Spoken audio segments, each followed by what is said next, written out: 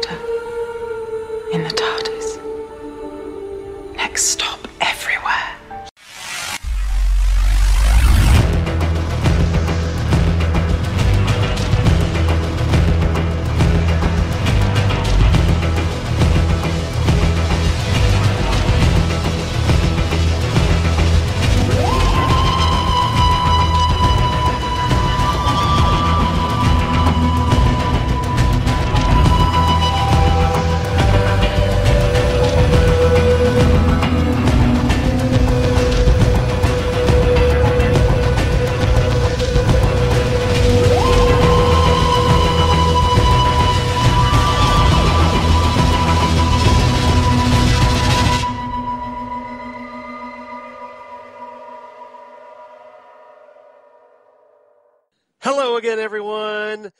Welcome back to Next Stop Everywhere, the Doctor Who podcast.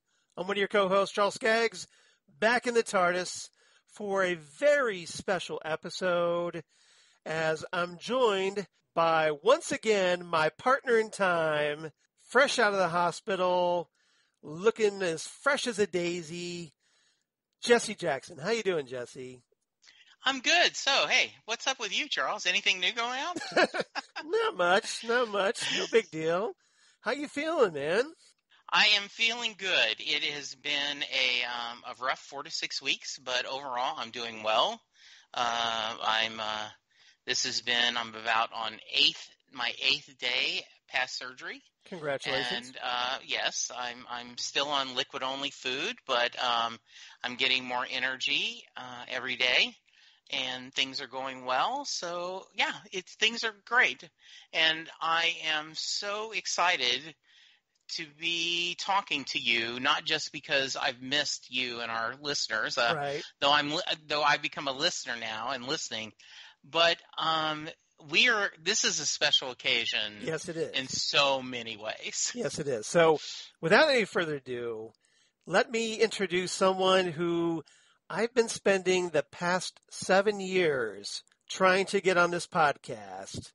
Someone very near and dear to both Jesse and my heart, especially mine, because everyone, I want to introduce my wonderful wife, my beautiful wife, Lori Skaggs. How are you doing, Lori? I'm just fine, and I think you have this. Uh, you were laying it on a tad bit thick. No, no, no, no, no, not, No, not thick no, enough. no. Not thick enough, right, Jesse? No, no, I cannot. I am so thrilled, uh, and and it was it was funny because Charles and I have been in constant communication, uh, and I know he's talked about updates, but you know, a, two or three days don't go by without Charles sending me a DM or a text going, "Hey, man, how you doing? Anything I, you need? What Right. what can we do?" Um, and I said, "Look, um, when are we supposed to meet with Lori?" And he said, "Well." Um, it's the first week of June. And I'm like, okay, well, June 2nd's my wedding anniversary. June 3rd's my birthday. Um, can so, we ha- do June so happy 1st? anniversary and happy birthday in advance. Thank you. Yes, happy Yeah, we- anniversary and happy birthday. Yeah, Charles and I have a rule because we are um, we are well um, we are good husbands.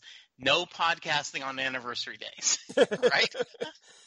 Right. And and so uh, and I I said I just I can't miss having Lori on the show.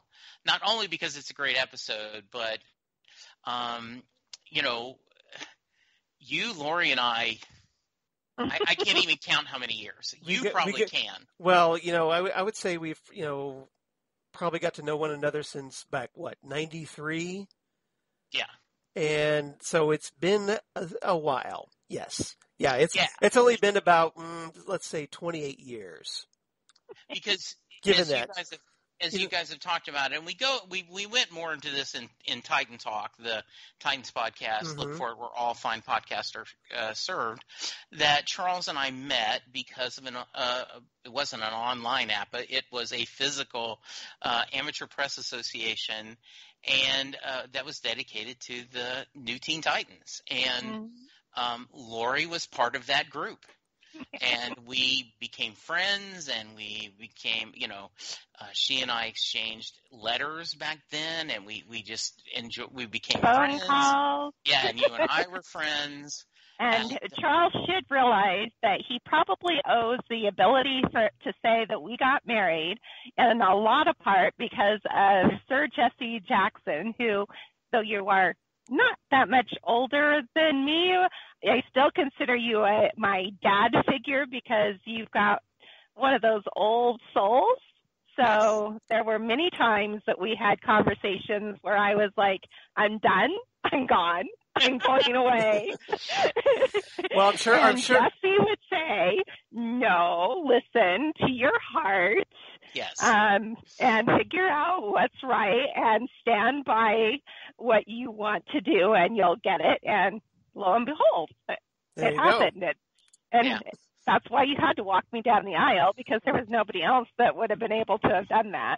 and it it truly was and um, listeners a highlight of my life when Lori reached out to me and said Charles and I've talked about it and there is no one more no one I would want more than to come up here to Ohio and walk me down the aisle and um, would you be willing to do it? And you know, I talked to Linda and I said, you know, this is one of the nicest compliments I've ever received. And so we did. We we flew up. I flew up to Ohio. I was treated like a returning prince by all of you and your friends. And then we had the best wedding and the great reception. And then you know we we had a great. You guys were off on your honeymoon and you're doing it, and we were there at your condo and just having a great thing. It just a kind of uh, a Titans reunion and all this stuff. And it truly is. And and we've continued to be not only online friends, but you know, Lori's Lori's had to come to Dallas for a business meeting, and we went and spent like a hundred dollars on sushi. Linda, Lori, Oh my and I. God. It and they was wouldn't so let me pay for any of it. yes. Do tell what what other shenanigans were you guys up to together? No, I didn't. I didn't get the. I didn't. It's funny. I never got these stories. Yes, Yes, and then did.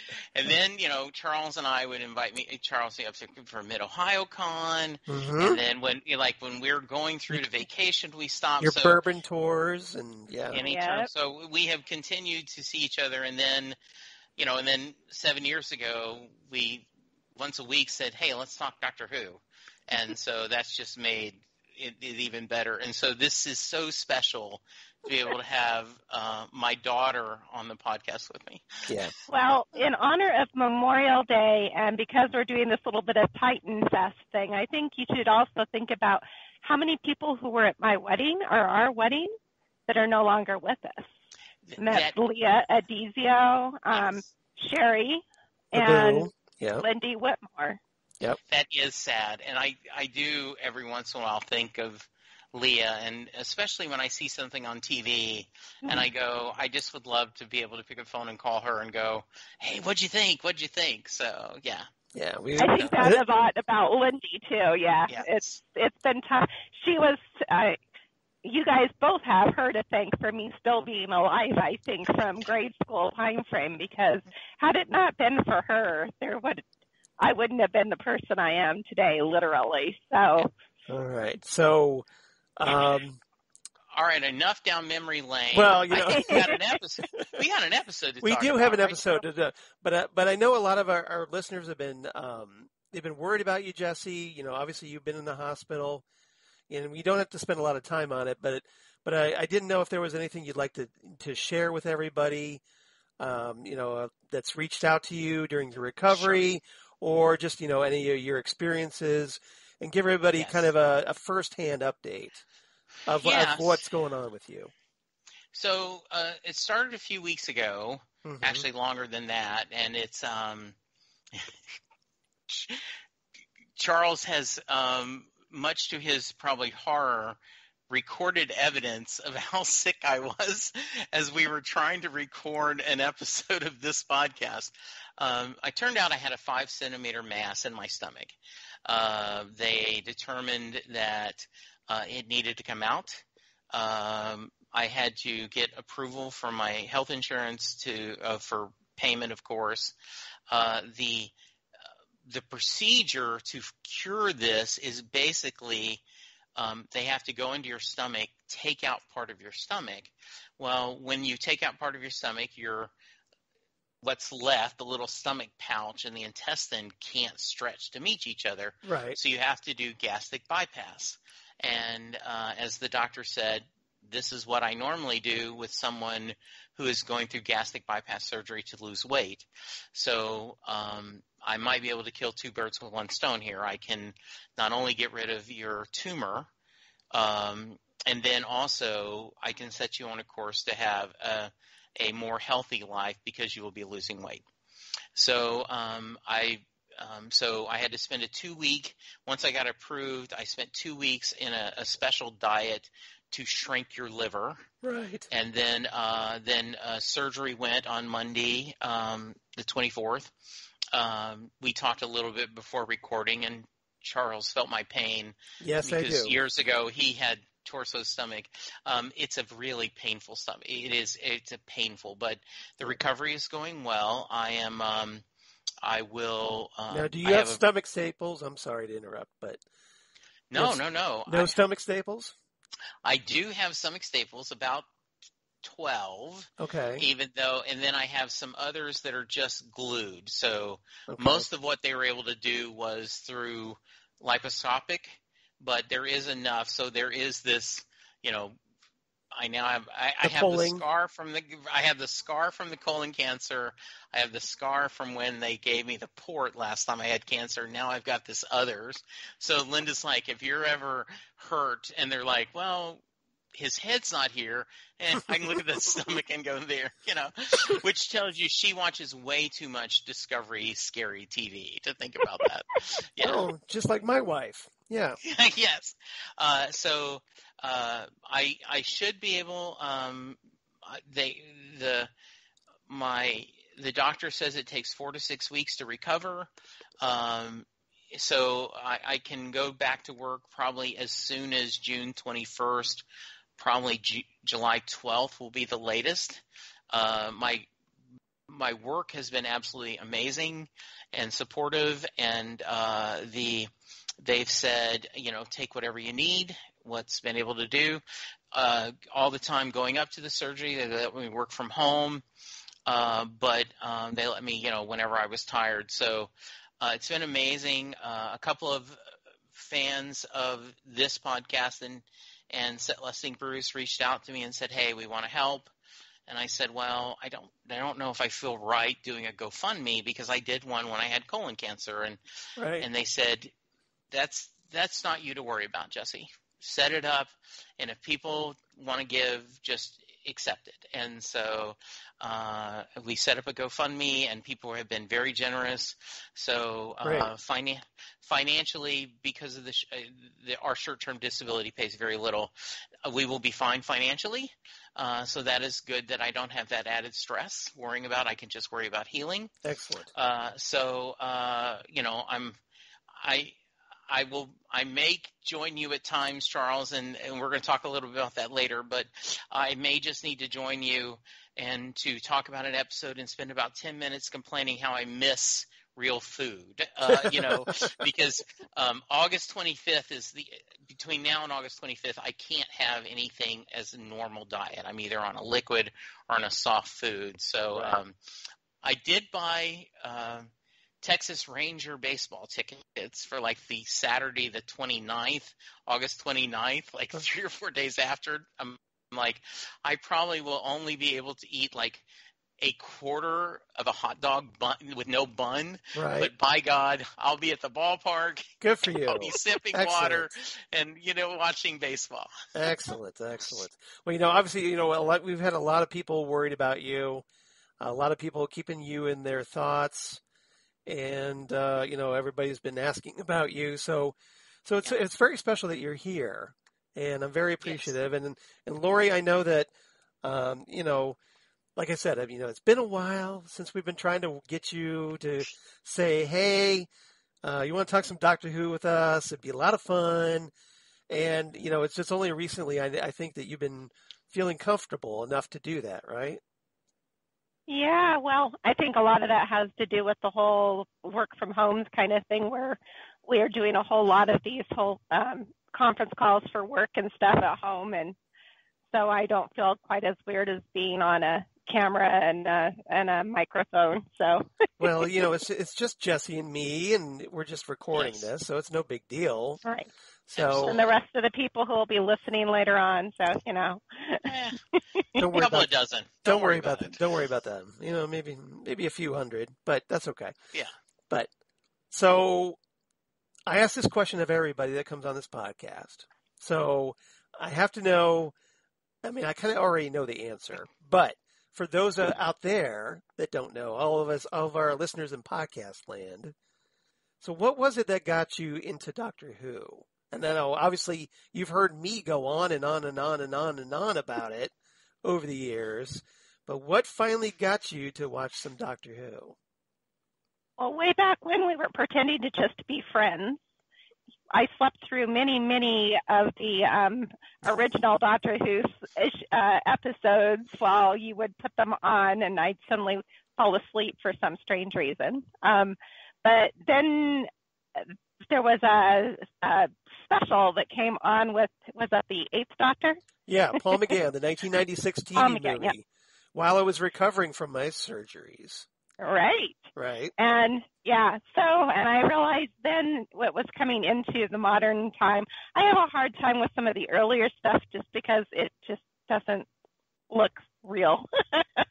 Right. um, but that was the first. Paul McGann was the first doctor. I was like, oh, I think I could get into this. And then Eccleston came along, and that was fantastic. I mean, there's many, No many pun episodes. No intended. pun of his. intended, Yes. right? Yeah. but there was many episodes of his that really got me. And then there was this little guy named David Tennant who Who? has this interesting, yeah, Scottish accent and uh was a little deranged and a little cute, no, a lot cute. and just seemed to really capture my heart. So the 10th Doctor will always be my doctor and the episode we're going to be talking about is my absolute most favorite episode of all the Doctor Who's that I've seen up to this point. Um, and it's the one that really made it concrete to me that, that David Tennant would be always my doctor. Well, that's a perfect segue because here at episode 234, we are going to be discussing The Girl in the Fireplace. And as Lori said, I know this is her all time favorite Doctor Who episode. How many Yep. times have I watched it now? I don't know. How many times You have you watched it?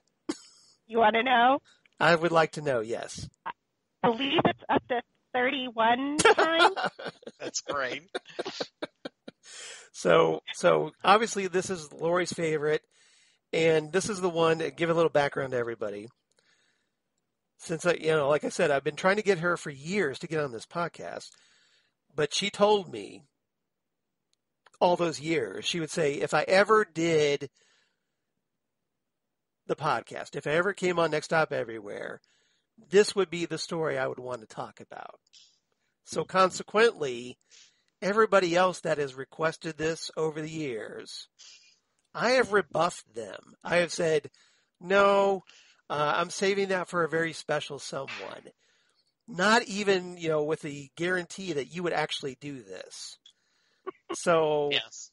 Years would go by. Everybody's like, "When are you got to do the girl in the fireplace?" Well, you got to have to wait. I'm, I'm, I'm keeping it for somebody I, you know, very special. So years would go by. Years would go by, and then finally, thanks to COVID, so hooray, COVID Yes. for, uh, you know, getting War- Lori working from home and feeling comfortable enough that she said, "Okay."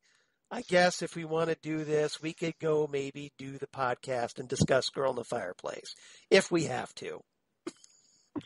Ringing endorsement, right? what can I say? Well, hopefully something. It's a podcast, but Yes. Yeah. All right. So I, I, I'll, I'll take Lori off the hot seat, but I did I did have to share that story because it's uh That is a great this is this is one that's obviously been a long time coming. All right. Absolutely. So with so with that in mind, let's talk some Girl in the Fireplace, everybody. Good deal. This was the fourth episode from Series 2 back in 2006, written by Steven Moffat. Maybe you've heard of that guy. Directed by Euros Lyn, who directed such notable episodes as The End of the World, The Unquiet Dead, The Runaway Bride, Silence in the Library, Forest of the Dead, which is one we Mm. still have to talk about here on this podcast Yes, yes. and David Tennant's final story, The End of Time, among others. And of course, this one stars David Tennant as, as the Tenth Doctor, Billie Piper as Rose Tyler, and Noel Clarke as Mickey Smith. So, um, before we get into get into cast or or trivia or whatnot, Jesse, I'm, I'm guessing you have some general thoughts you'd like to share about this story before we start diving deep into it. Yeah, I remember in the initial, my initial when I was binging The Doctor, Mm-hmm. you know, I, I really like this one, and and there's going to be specific things we'll talk about as we break it down. Um, but I've always, you know, liked it and, and enjoyed it.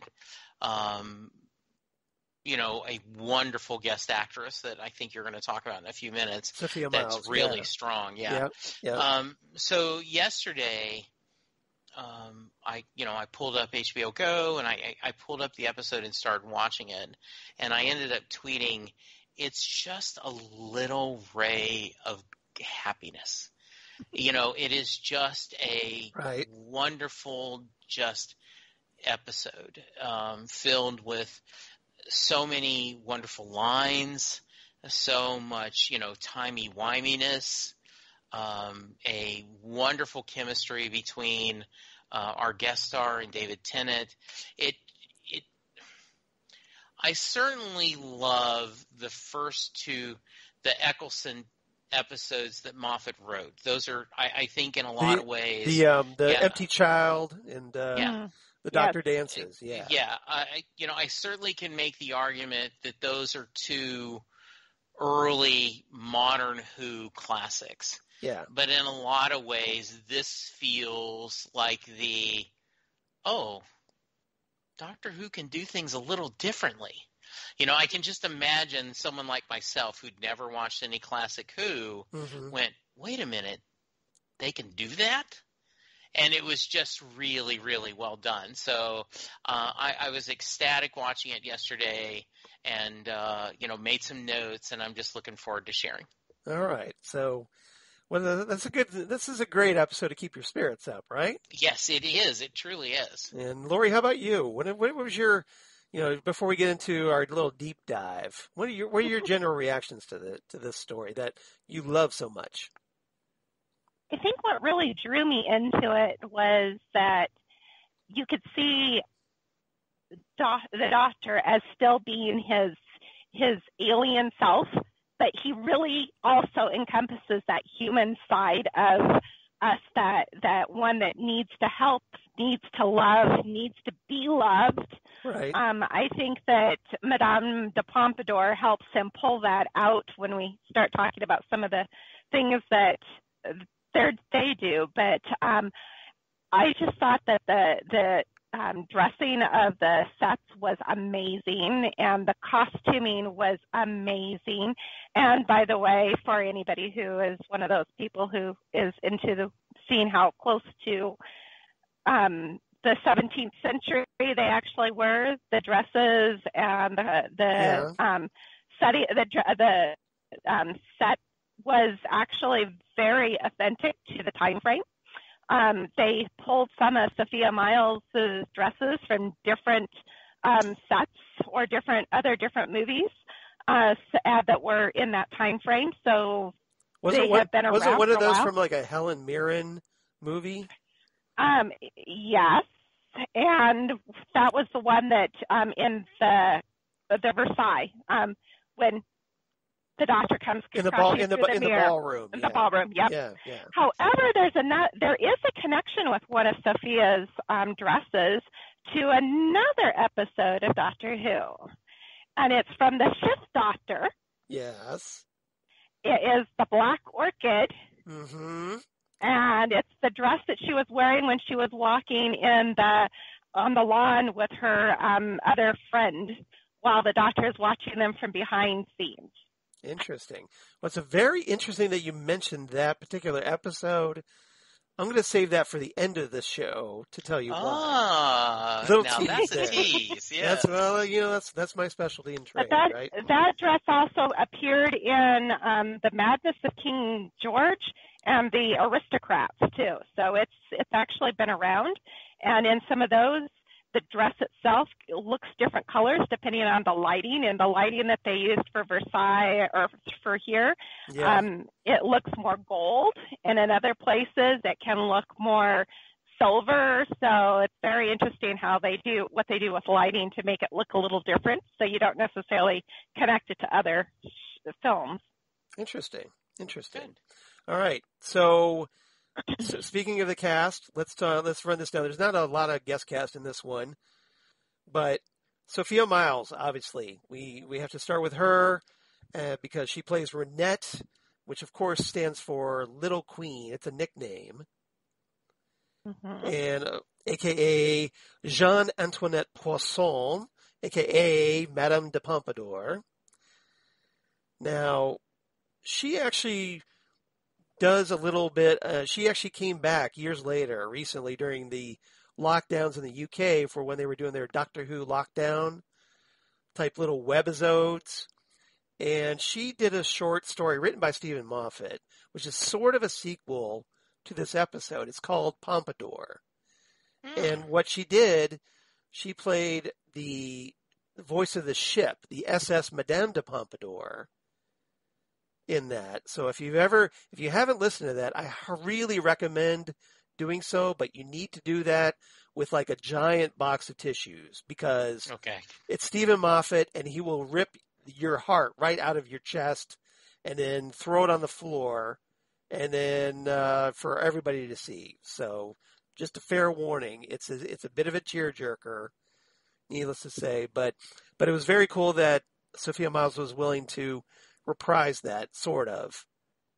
You know, she was originally Madame de Pompadour in the in the Girl in Fireplace, but then she got to be the SS Madame de Pompadour, the ship, the voice of the ship, in that story, Pompadour.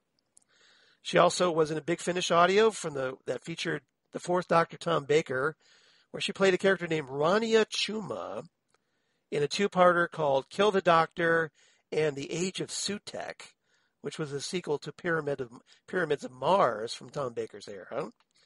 She was also in the movie From Hell, and if you're an Underworld fan, you recognize her as the character Erica in the original Underworld movie and Underworld Evolution. She's in those. She was also in the movie Transformers Age of Extinction. And Lori and I kind of know her. This is probably something Lori hasn't thought about for a long time. The TV series Moonlight.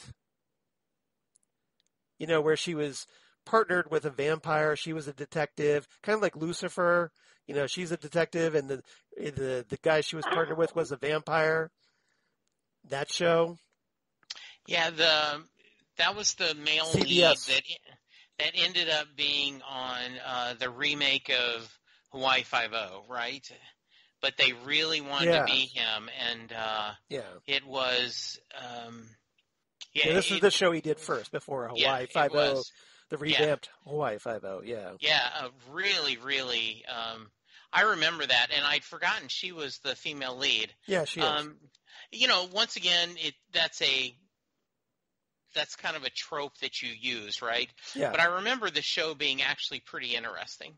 Yeah, it was. It was. It only lasted like I think 17 episodes. It didn't even last a full season, but Yeah, but uh, we enjoyed it while it lasted. I agree. And we also had Ben Turner, who plays King Louis the Fifteenth, and he's notable because he was in the sequel to 300, 300 Rise of an Empire. If you're at all curious. So trivia. This is the first appearance of the Clockwork Droids, who of course return years later in 2014 in Peter Capaldi's first story, Deep Breath. You know, where we got the, the half-faced man, remember that? Which Yes. was, remember Jesse, that was our first Next Stop Everywhere review. Deep Breath. It was. Yes, it was. See how, Exactly. see how it brings everything full circle? All together. It's, yes. It's all connected, right? Now, in 2004, executive producer Russell T Davies was responsible for an, another show before he did Doctor Who called Casanova, which starred a certain David Tennant, which was a serial set in the 18th century. And during his research for that show, Russell T Davies became fascinated with Madame de Pompadour and wanted to include her in a story that also involved the Turk, which was this clockwork man who, you know, played chess, like, like it was an automated automaton that was, uh, you know, that it was actually from that same time period and was later revealed to be a hoax. True story. But in 2005, Steven Moffat was res- assigned to write the story. So Russell T Davies came up with the idea and then gave it to Steven Moffat to write the actual story for, which of course he did brilliantly. yes. This st- episode is only one of the only one of series two to have no reference to Torchwood. Remember in, in series two, they you know like kind of like the, the, when they did the Bad Wolf in series one, that would pop up everywhere. You know, once at least once in an episode. Well, they were doing the same thing with Torchwood in series two, but th- not this episode because Steven Moffat thought that um, the theme of the season wouldn't exactly fit with what was going on here. I think that was a good call. I think so too. Otherwise, it would Most seem yeah. I thought it would have seemed really forced, right? Now, here's a little bit from the scandal sheets. Sophia Myles and David Tennant started dating after working together on this story. It was rumored she actually carried a Doctor Who doll, maybe an action figure, I don't know, in her handbag. Oh, how fun. But How of course, but of course, their relationship ended in 2007, and a year later, Tennant decided, well, I'm going to start dating Peter Davison's daughter, Georgia Moffat, after they worked together on The Doctor's Daughter, and of course, they eventually married and had a ton of kids. Yes, they have. So David Tennant obviously has a type. They are similar, and also, like many of us, Blonde Uh, and so- working on Doctor Who, apparently. see uh, people you meet at your workplace, right? Workplace uh, romances are not necessarily dead. yeah. Now, Arthur the horse, and I'm sure being Lori being an animal person would appreciate this little Yes. factoid, was not allowed to set foot in the ballroom where they filmed during the climactic scene. the various elements of the doctor riding Arthur through the mirror, you know, including the, the the horse, the mirror breaking, the reactions of the extras, those all had to be filmed at separate times, and then they composited those together for that Oh, and that's sequence. because that ballroom was at was on was in a very famous historical building. So of course they didn't want hoof prints all over their ballroom in their fancy house, country house. Go figure. now, you think they could at least put down a carpet, right? And just not shoot the floor, but Yeah, I mean, they, I don't know. you know, you have rodeos and you know the Astrodome and you know other stadiums, so you would think you could do this, but yes, I'm sure they were worried just about that. that the horse would poop all over the floor, I'm guessing. yes, and tear it up, yes, Actually, it'd be more the because of the hooves Because yeah, the and scratching the of the and floor. the yeah. yeah the yep and the horseshoes. Yep, scratching the floor. Yep. Now, lastly, in the original script, it was that mind meld with the Doctor that initially attracted the Clockwork droids to Reinette.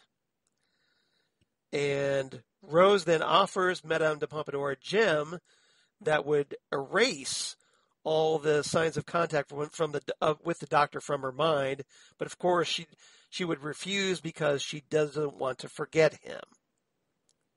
That's in the original version of the script. Also, the script originally contained out of order meetings between the Doctor and Reinette, in which she recalls him at seeing him at her convent school, which he later visits.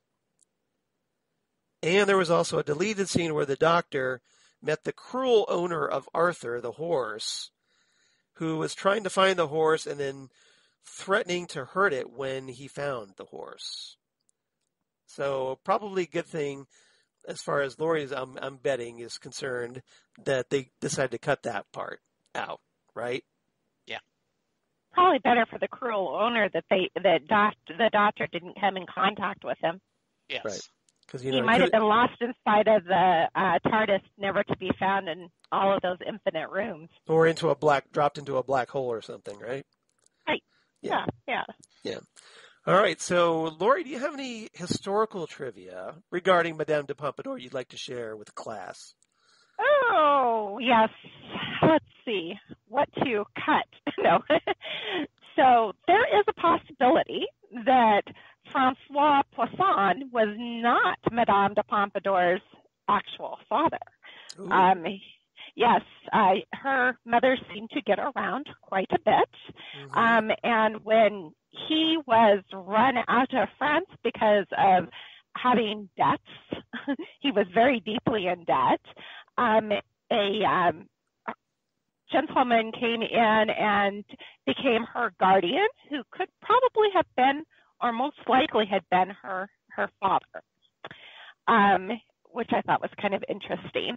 Uh, Ren- uh, Reinette was actually she was not called that at the age of seven, which is where the doctor first calls her that. yeah. She was it was she was nine when that was when she was first called that.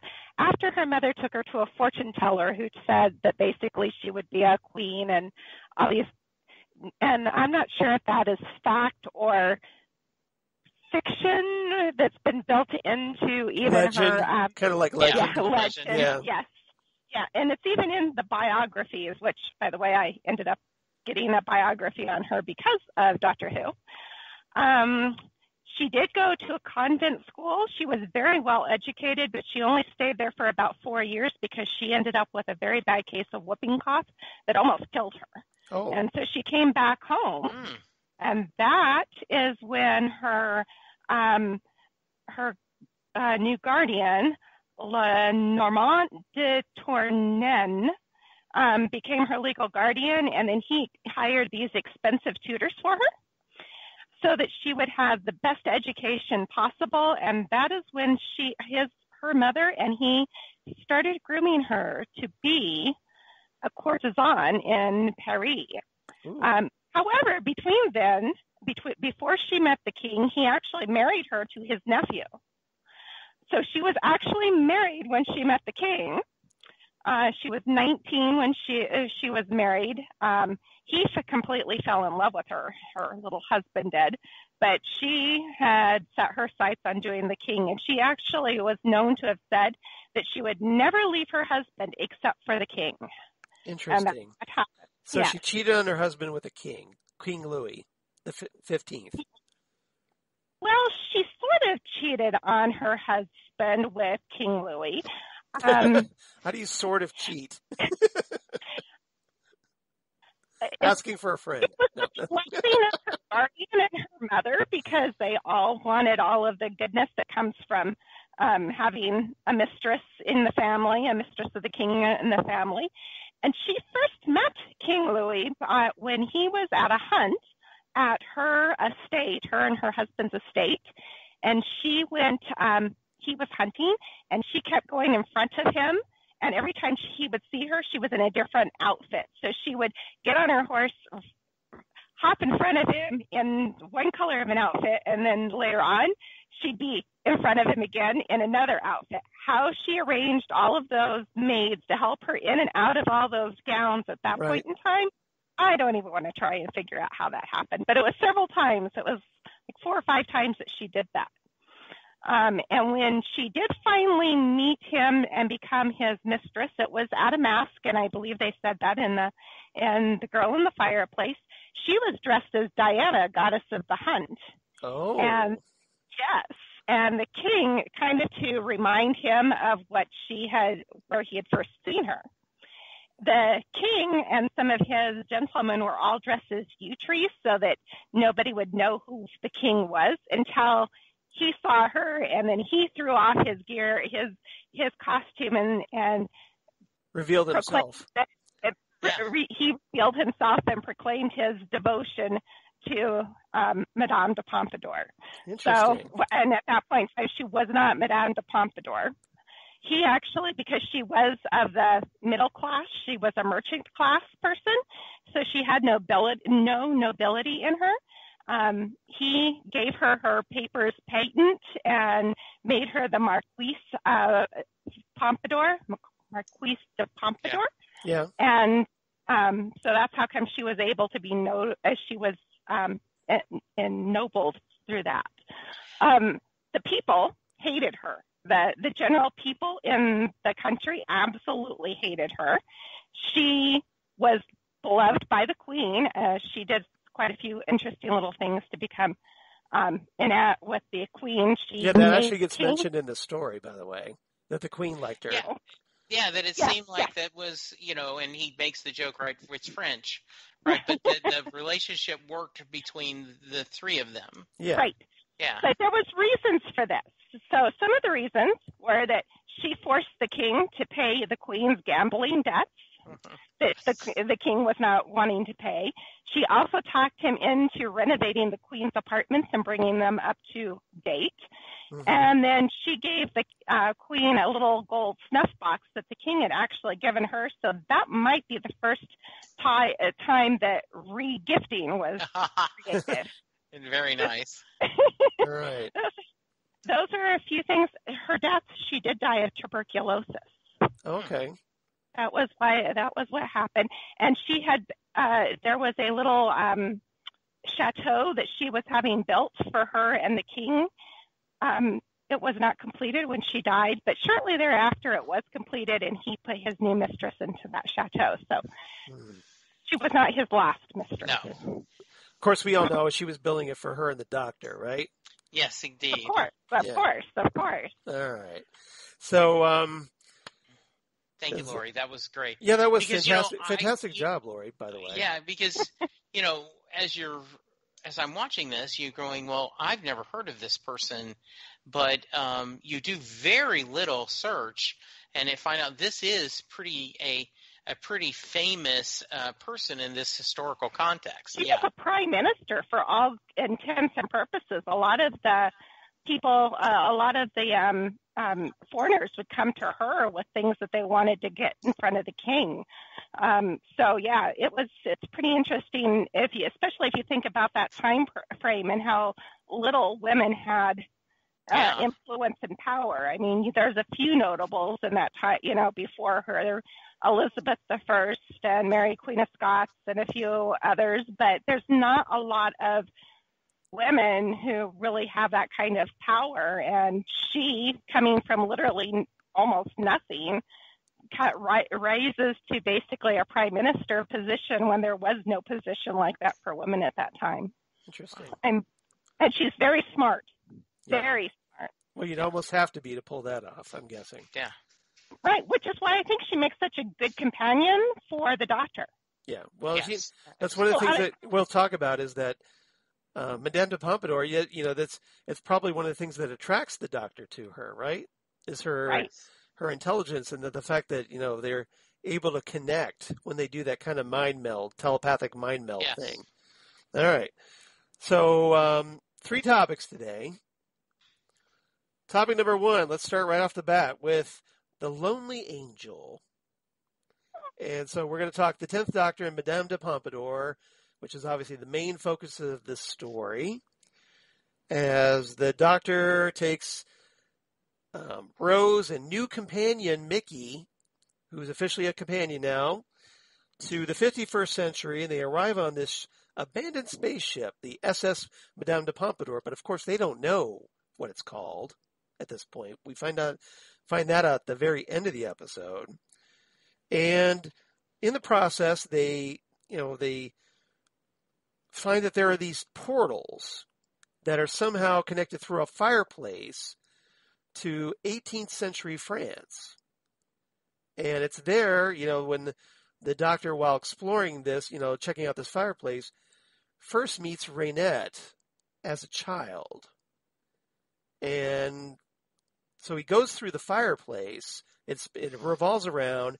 And from there, um, they kind of start developing this relationship over time because at first he meets her as a child and then later on they you know she grows to adulthood and then it becomes a full blown romance. As and as the doctor likes to say, you know, like, you know, I just snogged Madame de Pompadour. Yes. So, um, so I'm curious about everybody's, you know, reactions to this. So, Lori, why don't we start with you first on this one? What did you make of the Tenth Doctor and Madame de Pompadour in this story? I thought they laid it out very, very well, and I thought what I thought it might be creepy seeing him like go after somebody he met first as a child, but the way that they switch it around, it's it, isn't creepy at all, right? He meets this young girl and he's very protective of her. Right. And then the next time that the fireplace flips, you know, it's uh, this young lady of probably around 19 is what her age would have been when he first met her Right. as an a more as an adult and um the instant connection i mean there's something about tennant he works with his his facial expressions and his eyes and the way that he can pr- give you all the sense of emotion just by a look and there's not too many actors out there that can do that and i love Sophia Myles and her little coy expressions and her little half half smiles and the way that she kind of little uh, squints her eyes. It's perfect. I mean, She, truly, flirt, honestly, she flirts with her. on. She flirts with her eyes. Yes. And the smirks, those little smirks. Just watch those little smirks. little little yes. mischievous smirks. Yes. Yeah. Yeah, I thought it was beautifully done. I mean, it, it's hard to get that kind of a connection in an hour episode. And it would have been even less for the doctor because, I mean, he was taking little snippets of like half hours maybe, you know, throughout this. But yet he falls head over heels in love with her so quickly. And I just thought it was beautiful. Yeah. How about you, Jesse? What are you, what are your thoughts about the, this relationship, this pairing of the doctor, you know, falling in love for at least It is- briefly, briefly with Madame de Pompadour? It is not surprising that you find out these two ended up dating in real life because there was an on-screen chemistry. Um, the first thing I think of as I was watching this is going, um, "Wow, this is he he he ain't he." He was. She was the girl who waited before the girl who waited, right? Yes, right. Like Right. this is the you know this is the and- Amy Pond before Amy Pond. yes and So do you think um, Moffat once- stole that uh, kind of swipe from himself for Amy Pond, perhaps? I absolutely do, and I think that you know, yay on him. Um, but I had not. I had, you know, we had seen when, and we talked about this in an earlier episode um, when uh, Rose and the doctor comes back and he thinks it's only been a month and it's been a year, right? And Yeah. it shows that he cannot fix the TARDIS. Um, you know, so this is you show again, but as a new Whovian, you know, Mhm. you you didn't get that, and you're like, how can how can he not have control of the TARDIS? And it's it's how could it be so, you know, inaccurate? Um, I love the idea, and I think Lori, to your point, the reason why it isn't creepy is, um, you know, she is the driving force in the flirting.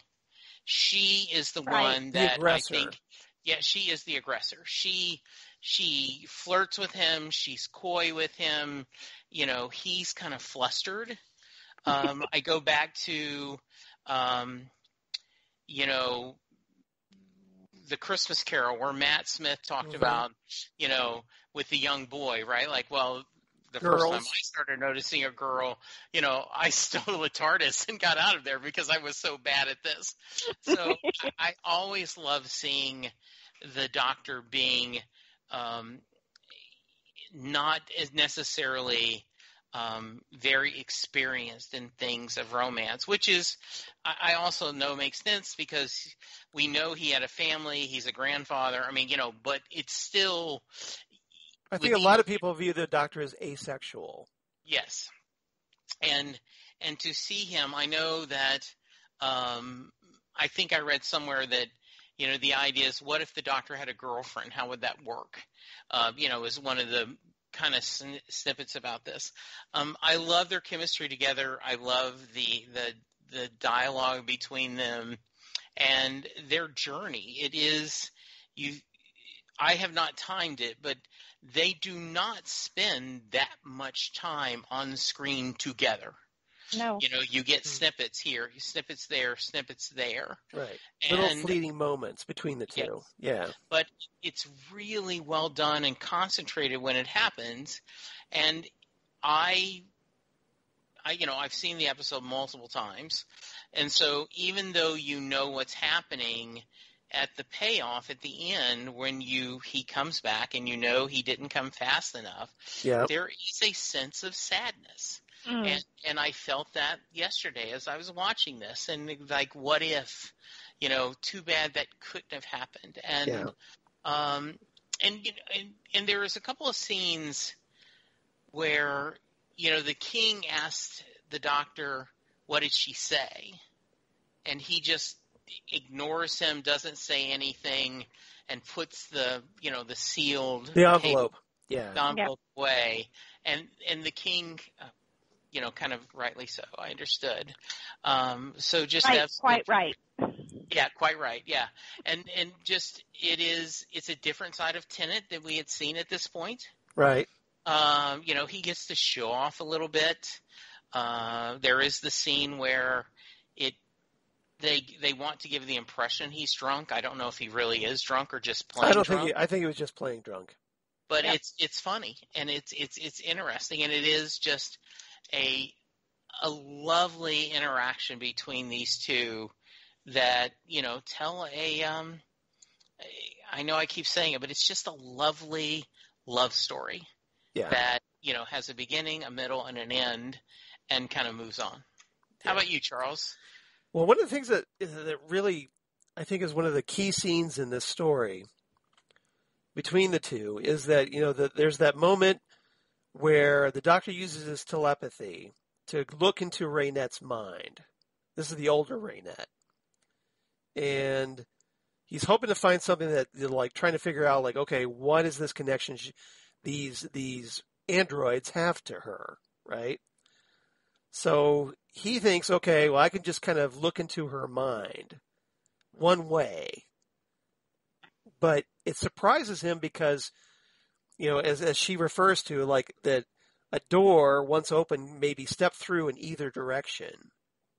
So she's able to look into his mind, which Yes. is something we rarely get a glimpse into because the doctor is so secretive, so private. yes And so, you know, she she feels instantly this this overwhelming loneliness from him. That's why she calls him her lonely angel. yes And you know, she feels such sadness. But, you know, you know, she makes this comment, you know, being Moffat, of course. It, in hindsight, it's, it's perfect Moffat, right? Where she says, you know, Doctor, Doctor Who. You know, it- it's more than just a secret, isn't it? And she invites him to dance with her, you know, using dance as a metaphor, presumably for sex, right? yes And he, you know, he, and he tries to say, "No, I don't dance." But you know, she makes this great comment about like, well, you know, every lonely little boy needs to learn how to dance. well and Charles not to I, I'm going to interrupt I know I'm stealing everybody's quotes, but you No, know, no, no, you're not. No, but think about that, right? Mhm. In the Doctor dances, Yes, that that is very clearly with the Eccleston metaphor. that that metaphor for sex and Yeah. that dancing. So this is the second time Moffat's gone to that, Right. and I think it's good. And, and if you look about it, like at Amy's wedding and other things, that's been a consistent theme with Moffat that he the Doctor dancing is another metaphor for um, physical contact or Right. you know intimacy. Yeah, and you know, there's that line that River said, by the way, where she said, "Did you dance at their wedding?" And Yeah. he says, "Yes, yes, I did." So you know, when he was Well, looking, along looking all, those- looking all the drunken giraffe, but you know, Yes. Along those lines, back in the 15th, 16th, and 17th century, courting couples didn't touch. I mean, they just didn't. That was not something you did unless you danced. Um, and that was an opportunity for a man to actually touch the woman he was wanting to uh, that he was courting. That he it was an opportunity for them to steal some little handholds and some little in public. touches In public. in yeah. public. Yes. Yeah. Yes. Yeah. Yes. Yeah. Now the other thing that that I thought was really powerful is you know we talk we talk about the ending where he watches that carriage go, and but it, for me it's the moment after he goes back to the TARDIS Mm. and Rose and Mickey kind of look at him, and Rose kind of makes this offhand comment, "Are you like, you know, are you okay?" And he says, "Well, I'm always okay." And they kind of get the vibe that he wants to be left alone. So they leave him alone in the con- control room, in the console room, and this is where now that he's private, he pulls out that letter and he reads it. And he reads about how she waited for him, holding out hope for all those years, only now at the end when her health was failing. And, um, you know, it, it's it's just so powerful. And I thought Tennant did a really great job with that. And the music by Murray Gold is just it just it's so powerful. It just really reaches into those heartstrings. Like, you know, just it it it makes you feel that moment.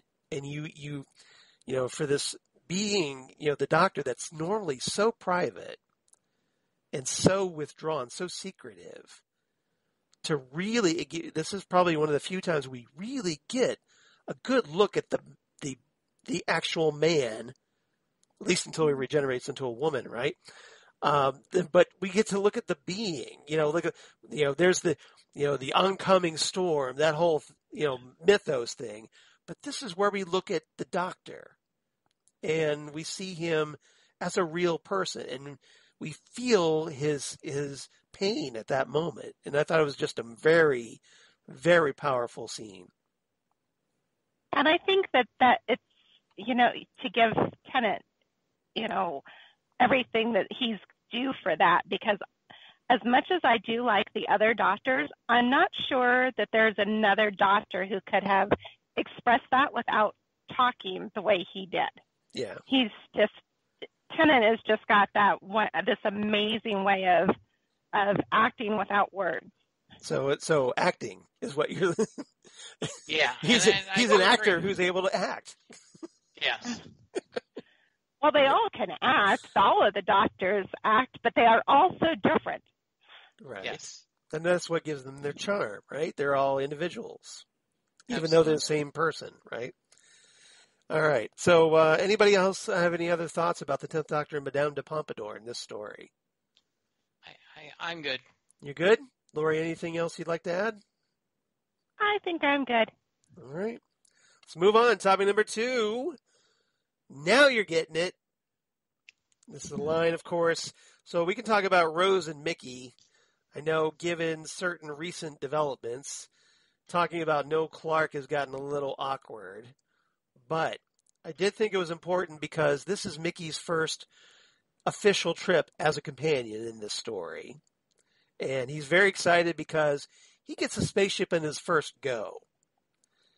And some of the scenes my favorite scenes with these characters in the story are Rose finally relating to Mickey as a fellow companion in the story. She's the senior companion. She gets to show him the ropes, so to speak, and uh, you know gets to you know guide him through his first adventure in space, and and it it, it kind of puts a little twist on their their relationship up till now, right? So I, I kind of want to get your thoughts on, and I'll start with you, Jesse, on this one first. What did you make of Rose and Mickey in this story?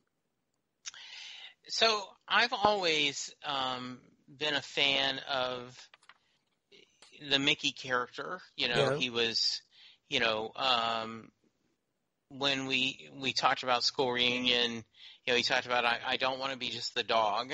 Yeah, the Tin And, Dog. yeah, um, yeah.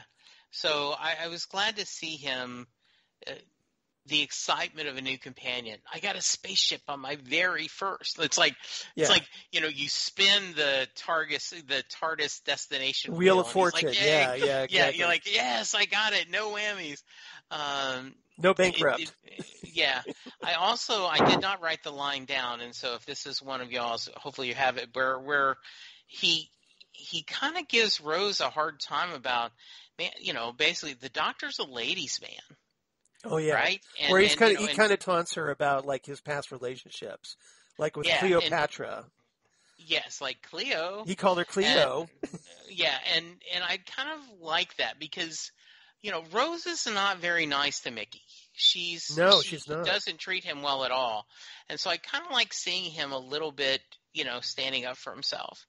Um, Now remember, also this is, this episode takes place right after school reunion, yes, where you know Rose got to meet Sarah Jane Smith yes, and realizes now that she wasn't the first companion the Doctor ever, you know, brought aboard the TARDIS, right? So, so she's Yeah. already kind of like uh, reevaluating their relationship a little bit when this story hits. Yeah.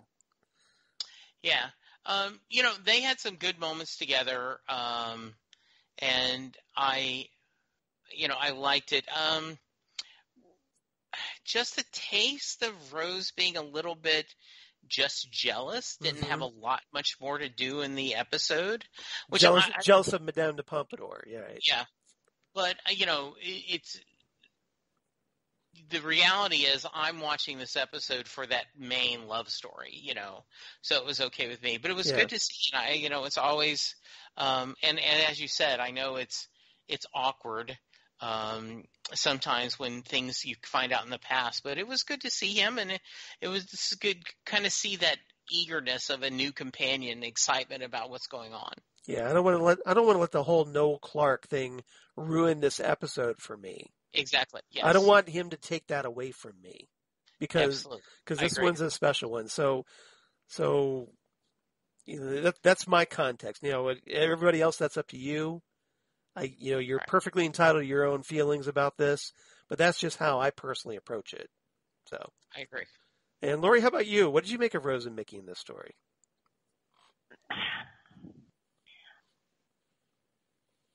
for me, you know, there's little bits and pieces of Mickey, but I'm like Jesse. I watch it for the the Madame de Pompadour and mm-hmm. Doctor part. Right. But the one piece that is kind of surprising for me is yes, you've got those moments of Rose being really jealous about Madame de Pompadour. But when she goes to tell her about what's going to happen and that the doctor will be there, there's that real sympathetic moment between the two of them that it's almost like kind of sisters in in emotion kind of thing. It was I thought that that was a beautiful moment between her and Madame de Pompadour, especially when Reinette decides to walk through the tapestry and wasn't as scared to walk through the tapestry into this other world. So it was kind of an interesting way of seeing them in each other's world for a second. Now, if I was Mickey, I wouldn't have been as excited about the, the spaceship as having 17th century France and the, the fireplace on the spaceship, you know, but that's just me. Um, Well, uh, well, you are a woman, Mickey- and he's a you're like a younger guy, so he's gonna think spaceships are cool, right? I'm in space. How awesome is that? to put it to be fair, right? Spaceships are cool. There's certain spaceships I think are really cool. That one I'm not so sure. Had I known the name of it earlier on, I probably would have thought it was a little more cool. But um, Mickey for me has always been kind of one of those sad little characters in Doctor Who because he never really gets what he wants until we get a little farther in and he gets to go to the other earth and be and actually do right by his grandmother and In and the very in the very next nature. story, yeah, Rise of the Cybermen, Yeah. yeah. that's uh, that's where he he kind of comes into his own there. Um, here he's just kind of running around and kind of playing action figure in a in a video game, rolling on the floor with his little gun, and I thought, see, I kind of thought that was kind of funny. I thought it was that he was just kind of enjoying himself. He's like, "Yeah, this is awesome." Right. I guess maybe I've just watched enough too too many of these to know that there's going to be something in the around the corner that you shouldn't Right. be enjoying yourself in a corridor. you should be running. Good point. That's a very good point. Yeah, I guess uh, Yes. it's you know it's just a matter of time before you get your life threatened by an, an alien or a robot or in this case an android, Yep. right? An android sticking you with a needle to put you to sleep so they can put you on their little chopping up beds. Yeah. Their operating tables, yeah, exactly, and play Operation No, the Home chopping Game. up beds. Right. Sorry if I'm bringing up bad memories, Jesse. No, no, that, that wasn't. No, no, no, that's good. yeah, yeah. you know, I've got my own. To be fair, I got my own bad memories on that. So, um, but I, I, I you know, I kind I thought it was really interesting to see Rose with Mickey because, you know, like it for you know, obviously, you know, when they were on Earth, they had a little nice relationship until the Doctor showed up, and then Rose kicks Mickey to the curb really fast at the end of Rose, right, and says, "Okay, see ya," uh, and she jumps on the you know on the TARDIS, right? So Mickey has some resentment toward her because she's off with the Doctor, and then when she would come back to Earth, but but now their relationship is different again because now they're like on a little bit more equal footing. You know, like okay, now I get to see what you've been experiencing, and I kind of get it now. And and Rose kind of kind of guides him through that. You know, there's that big great moment where you know the, the, she talks about to Mickey and says, "Hey, you know." Uh, you know, so are we going to stay here like the doctor wants us to, or or what? And he kind of looks at her for a moment, then, without saying anything, goes over, grabs one of those big fire extinguisher guns, and she goes, "Now you're getting it." So it's like now, now you're getting into the groove. Now you see the the the potential of this. And there is that great scene where the doctor, like, they never do what I tell. They never do. Like, they Mhm. why don't they ever listen? Which was, I, I always nice to see. Yeah, and I thought they were very essential because they kind of get a little bit more of the mystery. They get to piece things together, you know, like when they're exploring the ship and they're like, "Oh, the camera's got an eye in it."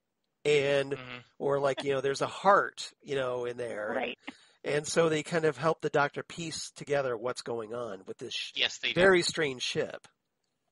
Yes. So I'm going to have to politely disagree with you um, on the whole. Gasp. I know, right? on the whole Mickey and Rose relationship beforehand, I don't think it was a great or a good, even really a good relationship before the doctor. I think that Rose didn't know anything else, but was wanting something else, and I think she did not know what that was until the doctor stepped into her world. And I'm going to say that I'm a little bit of a um, I know what I'm talking about because I settled long time ago, and then there was this certain person by the name of Charles Skaggs So that settled, jumped into huh? my life. Yes, so um, I would have jumped onto a TARDIS way back when with you. So I think it was I, she just didn't know anything. You know, she didn't. It wasn't what she. It wasn't bad, but it wasn't what she was wanting until the. And then she didn't know what she was wanting until the doctor jumped in. I mean, she didn't want to be a keeper in a shop and a worker in a shop and those yeah, but things. you notice she didn't just like sit Mickey down though and go like, "Hey, and you know, I'm sorry about this, but you know, like I have this opportunity, and you know, if you don't want to come along, you know, I want to go do this." She didn't let him down easy. She just was like, "Eh, "See ya," she wouldn't and, have, and Mickey's like going, "What? What just oppor- happened?" it was an opportunity of a lifetime. She probably wasn't even thinking. I mean, to be fair, she didn't even say goodbye to her mom. No, that's true. I'll give you that. That's a good point. That's a great point. All right. Anything else about Rose or Mickey from anybody want to talk about? All right. Third and final topic. We did not have the pots. So let's talk about the clockwork droids who obviously, like they say, don't have the parts. And let's talk about that interesting ship, the SS Madame de Pompadour. So, um, this is the first, like I said, this is the first time we see the clockwork droids, and um, I thought they were a very cool concept. You know, the, we find out that for whatever reason, you know, they're they're they've dialed in to uh, they've created all these time windows, and and the doctor brings up that they've expended so much energy to create these time windows, and the doctor's like, well, why don't you just use that for your ship? But there's a purpose behind this, and we don't find out until the very end of the episode really what that purpose is.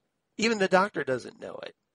He just has a has a theory that they've been scanning uh, Madame de Pompadour's brain and talking about how she's not ready yet. But why her specifically? We don't find that out until the very end. So what did you? So I'll start with you, Lori, first on this one. What did you make of the Clockwork Droids and the, you know the the why they were kind of stalking Reinette throughout time?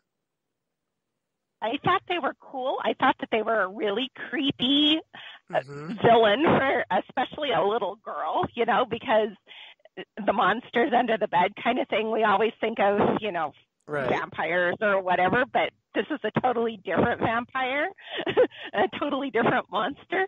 And when the doctor tells her that um the clock isn't ticking and it's broken, why is the why is there ticking in your room kind of thing?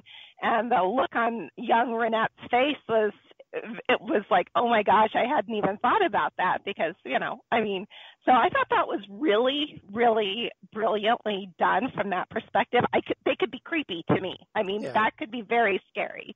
Um, the fact that they were looking for Madame de Pompadour the first time we watched that just totally had me completely confused. It was like, okay, how's this going to tie in? Why, why France? Why Madame de Pompadour?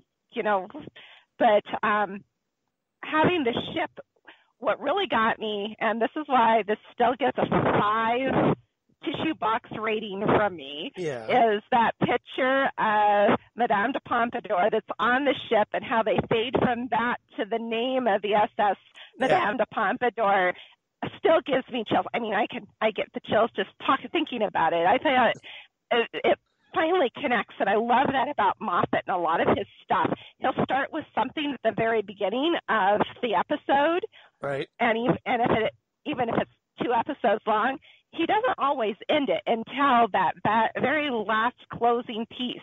You don't get the full circle of the story until that very end, and I think it's very creative that he does it that way. I think it's great because it keeps you like on the edge of your seat the entire time. Yeah, it's masterful writing as far as I'm concerned, be- because the, you know it, it ends on such a strong note. This episode, with that Mhm. painting re- and the reveal, you know, as we go to the exterior of the ship, and where we see the SS Madame de Pompadour. So, Jesse, how about you? What are your what are your thoughts on the Clockwork Droids in the in the ship?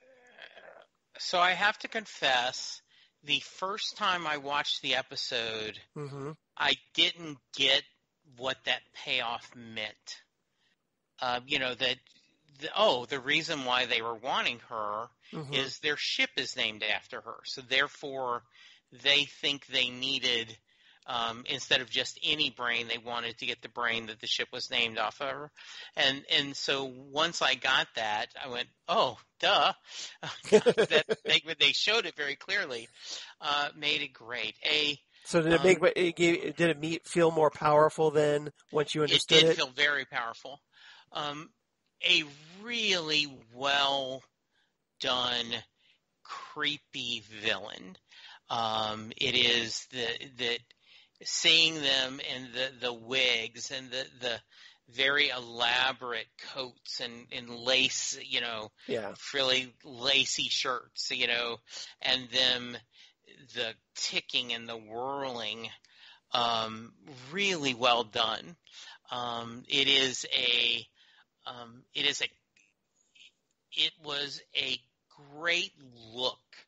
Um, and as you talked about, you know, the, um, she has a great line about, you know, the, the doctor and the monsters. You don't get one without the other, Right. which is, yes. um, you know, and, and those are one of those um, lines where, like, when Neil Gaiman, you know, when the TARDIS, when Sexy says, you know, he says, "You didn't always take me where I wanted to go," and she says, "I always took you where you needed to go." Right. I mm-hmm. think that is that line is without being overly it's a meta line it is a perfect Yes. line for the episode but it is also a perfect line about the series itself the the monsters and the doctor are tied together Yeah. and one of the reasons why the show works so well whether they're the cheesy bad plastic you know monsters uh, from you know the the, The classic era. early classic era or this Yeah. modern do uh, the modern who so i just love that line and i love it um, it is and they are creepy without being creepy and what i mean is they're they're not they do not have evil intent you know their job we've got to repair the ship Yeah. our job is to repair the ship They're robots, so- so, essentially, yeah, they're just yeah doing what their programming entails. yeah and, and my I actually feel sorry for them at the end. When they realize that they can't get back to the ship and they just crumble, I actually feel sorry for them at the end.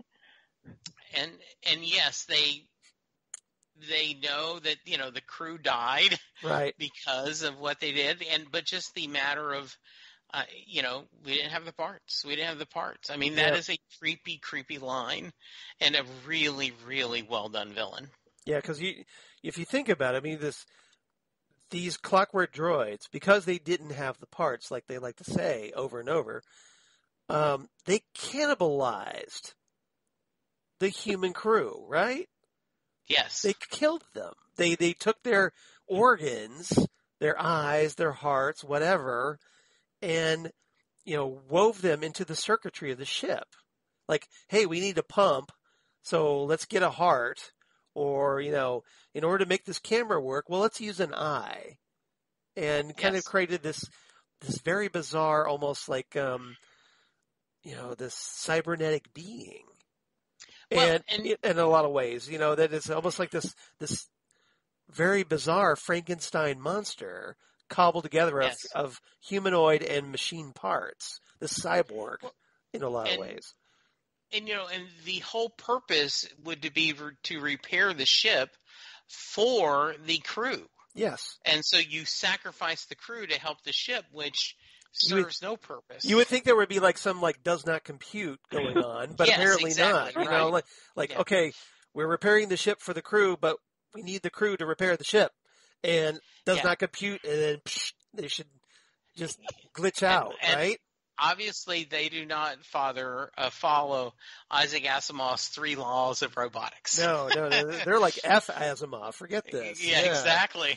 yeah. So, um, but but they were a very elegant design. You, you know, you mentioned the the the clockwork sounds. So it gave you that little bit of menacing, like you because you could hear it without actually seeing them. So you got creeped out by the sound. And then, you know, once you finally got to see them, they, you know, for just being, you know, gears and, you know, um, and, you know, just the, in certain, you know, parts that they were able to form, you know, like these swords that could threaten Mickey and Rose when they were on the operating table or like, you know, when they took them hostage or whatever that, so you, you like you see these spinning gears. So it was very menacing. So it, you know, and it was something that I don't think a child would have been overly afraid of, but it was still menacing, right? So, Yes. um, just a very elegant design, and then, you know, the way they, the, with the reveal of the SS Madame de Pompadour is just, it, it like you, like Lori said, it brings the whole thing together. Um, you, you, in that moment, you like realize, oh, that's it. You get this light bulb in your head going, that's it. That's why they wanted her. And, Yes. and it brings such a pathos to the ending that Yes. you know you you're like this is just horrible you know like that- that this ship is now doomed um to wander space and you know it's now an empty vessel because now even the the clockwork droids aren't there and so it's just it's just traveling through space and you know it's like this like this old haunted mansion th- th- you know traveling through the cosmos so it's it's very sad in a lot of ways. It is. I agree. So, but all around, just just an kind of amazing mimics story. her life. It kind of mimics Madame de Pompadour's life, if you think about it, because it worked hard and it was there for its crew and and whatever it was that they were supposed to be doing. But then at the end, it's getting weary and it's breaking down, and there's not enough time left, and then it goes off into nothingness. It's kind of a that- I think that's Symbolic? kind of interesting. Yes, symbolic. Thank you. Yeah, yeah. So the ship is almost symbolic of Madame de Pompadour's life. Yeah, I'd say so. Yeah. I think that's fair. All right. Anybody else have any other thoughts about this story? Because it's just an amazing story. All right. So now we come to uh, ratings. Or no, no, no. Let's let's wait. Let's do the quotes first. Then we'll do the ratings. I'm a little out of practice because I got Jesse here now, so I'd like I've thrown off my rhythm. I got used to like, okay, Jesse's not here now. Me now he's here, so I was like, oh yeah, we needed to do this. So uh, favorite quotes, uh, Jesse. I'll start with you on this one. You, you to give us some of your Um, favorite quotes of this story? So we talked already about this, um, but I do love it when Reinette says, "You and I both know, don't we, Rose? The Doctor is worth the monsters. One may tolerate a world of demons for the sake of an angel." Um, absolutely beautiful, Yeah, and um, and then I'll only do one others because I, I don't want to take anything a word. you're always so Um, unselfish. Yeah, yeah. um, but I love, I love an arrogant doctor. Yes, I love the arrogance. I know doctor. the quote you're going to say. And Go King ahead. Louis, what the hell is going on? You know, and Reinette says, "Oh, this is my lover, the King of France." And the doctor, "Yeah, well, I'm the Lord of Time." Yeah. just this arrogance that you just love. Yeah, it's almost like you know uh, the doctor's trying to a little jealous, a little bit. It's like, hey, it was a little bit like, oh hey, you- you're the king of France. Well, I'm the Lord of Time, baby. top yeah, that. right? Yes, exactly. Yeah, that's it. That's that Yeah, was that was one of perfect. mine that I had. So that's good. Good. All right, uh, Lori, we'll go with you. What are your some of your Oh my? God. Narrow it down. Narrow it down. I know, I know.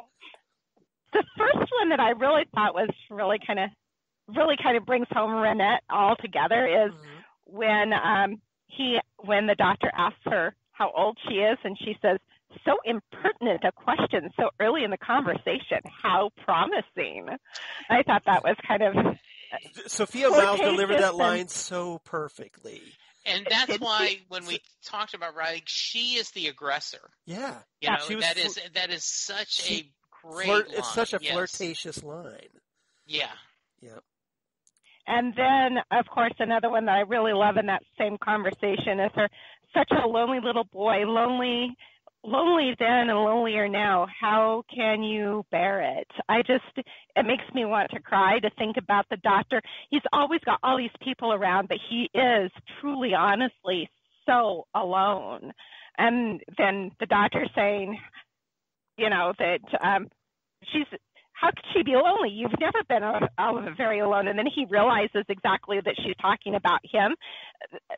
That whole piece just really kind of gets me. That whole conversation really kind of nails in to me that whole they fall in love in that conversation Yeah, that has Yeah, those couple of quotes in it. I think that's where they truly honestly fall in love with each other. I agree. So- There, Charles, I'm I'm going to be good because there's lots of others, but Uh, those okay. are my two. okay. All right. If you have any more, feel free. Go ahead. I'll Okay. let you have a turn. Okay. All right. Well, I'll I'll choose a fun one here. So the doctor, um, he's a little confused at this moment. He realizes who Reinette is, and he goes, "Poisson? No, no, no way. Reinette Poisson. Later, Madame de Etoile. Later, still mistress of Louis the Fifteenth, uncrowned Queen of French of France." Actress, artist, musician, dancer, courtesan, fantastic gardener. And the French servant says, Who the hell are you? And the doctor replies, you know, as he's whirling around the, the fireplace, I'm the doctor, and I just snogged Madame de Pompadour. And once again, you talked about her delivering a line. Yes. He delivers that line. Right. Just, it is a smash. It is just so cool. Yeah, yeah, it is. And then let's see, I'll go with um, Reinette saying, Doctor, Doctor Who, it's more than just a secret, isn't it? And then the doctor replies, What did you see? And Reinette replies, That there is a time, there comes a time, Time Lord, when every little lonely boy must learn how to dance. Well done. Well done. I got one more. I have Okay. to do. All right, go ahead.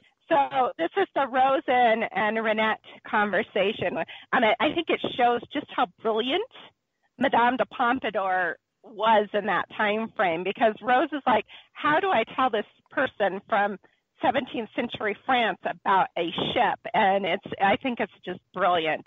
Rose is, er, there's say a vessel, a ship, a sort of sky ship, and it's full of well you different bits of your life in different rooms all jumbled up. I told you it was complicated. Sorry. And then Reinette replies, There's a vessel in your world where the days of my life are pressed together like the chapters of a book so that he may step through from one to another without increase of age, while I, weary traveler, must always take the slower path. I mean, it's so amazing how fast she grasps that Yes. because Right. people in 17th century France would not grasp the whole skyship concept. Right. Well, I think that's why she was special and why the doctor was attracted Mhm. to her. So. I agree. And then lastly, I'm, excuse me, I'm going to do a line that Lori has probably heard me say far more often than not, where Rose asks, Are you all right? And the doctor replies, I'm always all right. I can see you doing that on a I- regular basis. Lori is my is my witness here, right? Yes. so, That's kind of like when your wives say, I'm fine. Yeah. yeah, only a little bit more tragic, right? With the doctor. Yeah. All right. So what's everybody's ratings for this story? I'm get I kind of guess what everybody's gonna as far as numbers go. But uh, Lori, I'll start with you first. What's your rating for this story? 10 fireplaces. All right, that's good. And Jesse, how about you? 10 out of 10 horses smashing mirrors. Excellent, excellent. Bravo. And I'm going to make it unanimous, as all three of us give it a 10 out of 10. I'm going to give it a 10 out of 10. Accidentally invented banana daiquiris. Very nice. Well done. We didn't even get into that. No, we didn't get into the You banana know? daiquiri thing. Yeah. So, um, but uh, I got it. I worked it in at least a little bit. All right. Yay for you. All right. So reverse the polarity. As we Yes. reverse the polarity, the neutron flow. This time, because of the sake of time, I'm going to keep this very short, uh, especially out of, we out of knew, we knew Yeah. that me returning right. this thing, this one was going to go long. In fact, Charles was like, "All right, give me a signal if you Yes. get tired, Jesse." And Well, I'm like, "Nope, I am loving this." out of out of consideration for Jesse, I'm going to Yes. just say, if you enjoyed the Girl in the Fireplace, I recommend that we go back, way way back, to 1964 with The Reign of Terror. This was the eighth serial of season one in 1964, written by Dennis Spooner. And what this involves is the first Doctor, William Hartnell, uh, his granddaughter Susan Foreman, and school teachers Ian Chesterton and Barbara Wright, the very first TARDIS team, arriving in Paris out in 18th century France. So the very same century, just years, maybe a couple, few decades later than this story. You said 18th century France. This 18th was 17th century France, so uh, about a No. 100 years. No, this was in, you know, this story, Reinette, when the doctor first meets Reinette, it's 1727, right? That's 18th century. Then you know what? They're wrong. Um, Rose is wrong on the the show because she says 17th century France. Yes, she is. It's 18th century. right? Because here we are in Yeah. 2021 and it's the 21st century, right? You jump ahead for the century. So, yep. So it's the same same century and it's France. So that's the main connection obviously. But this is also a historical in a lot of ways, although it doesn't have clockwork droids, but but essentially what we do is we explore the French Revolution and this particularly this moment called the Reign of Terror, which was kind of like this feud between two political groups that was going on at this time. And um, it's a very pretty good episode. I, I, it's one of those we haven't talked about here on the podcast. They actually finished it up with some really excellent animation. Top before they started skimping on the on the animation for the videos. So I really recommend checking this one out. Um, it's, a, it's like I said, it's the original TARDIS team. This is only the eighth story ever of Doctor Who. So, uh, so if you enjoy The Girl in the Fireplace, I definitely recommend The Reign of Terror. Everybody, please check that one out. It's worth the it's worth the effort. It's six episodes, but it's a solid historical story of Doctor Who. If you enjoy those. Very nice. All right, now listener feedback. We thankfully got some feedback just yesterday from Holly Mack, one of our regular listeners and occasional co-host here on Next Stop Everywhere, writing in about the girl in the fireplace. So Holly writes in, "Hey all, hey Holly, Hey, Holly.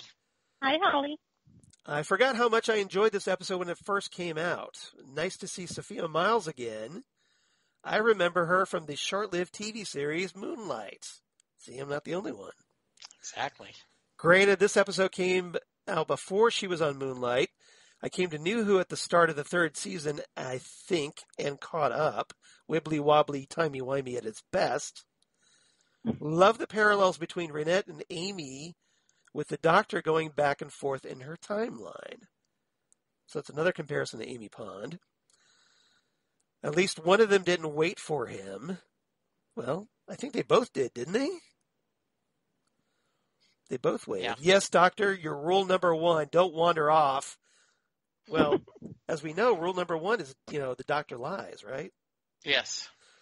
So, but here she says, don't wander off has been broken by many companions, though it would be helpful to hand out a list of rules to your incoming companions, right?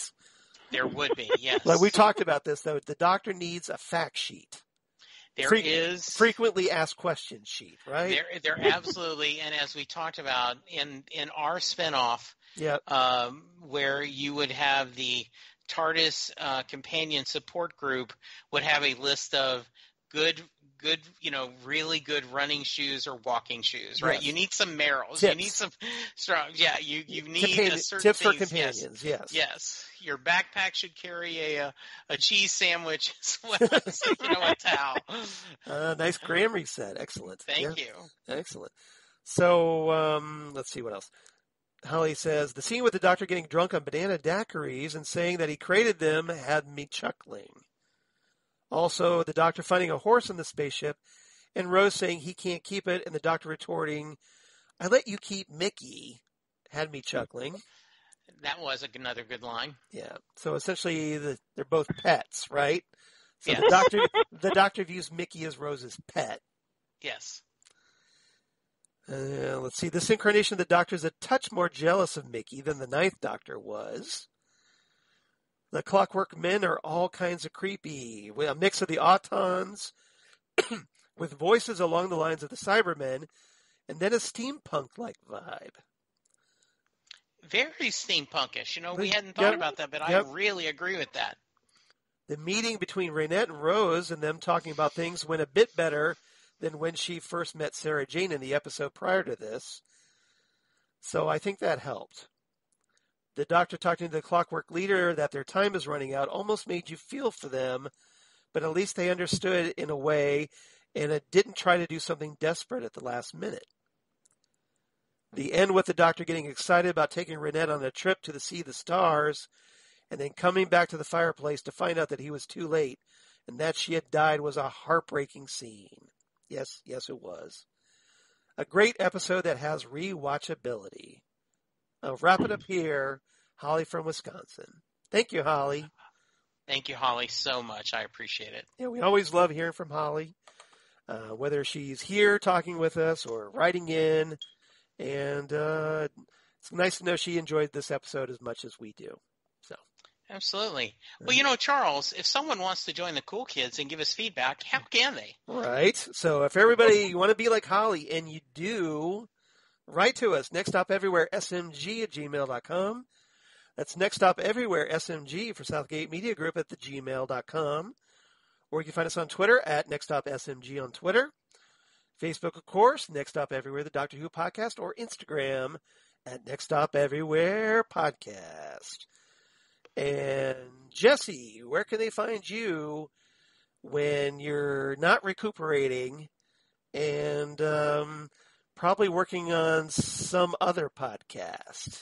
Yes, I am. Uh, I am not spending a lot of time on social media right now. Um, there is, Understandably. a- yeah, there is a Caring Bridge. Uh, Charles has been kind enough to post it on both our Facebook page and you know retweeted it not only himself but through Next Stop Everywhere, Twitter, where uh, we are doing anytime significant happens, we're doing an update there. So if you are interested in following in my health journey, that's probably the best way to go. Um, I am on Twitter at Jesse Jackson DFW. If I've been posting anything, it's usually on Twitter. I have not been going to Facebook very much lately, just because you can only do so much. Um, I I am. There are many things Charles and I have in common. And Mhm. one of the things is Charles is incredibly organized and, and, and very detail oriented. Um, my my obsession with set listing Bruce is that I would run out of episodes.